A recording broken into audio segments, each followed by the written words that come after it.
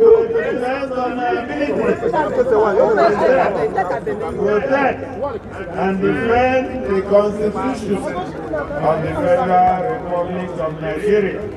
That I will abide by the code of conduct contained in the fifth schedule to the Constitution of the Federal Republic of Nigeria. That all circumstances, Mona, Mona, I Mona, will yeah, right nah, to Mona. honor of people according to law, without fear or favor, affection or will.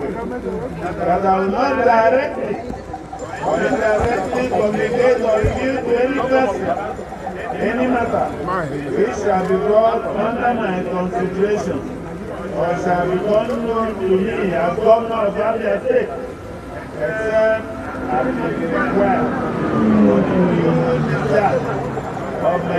as.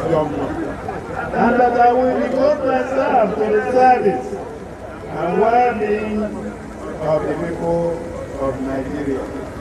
So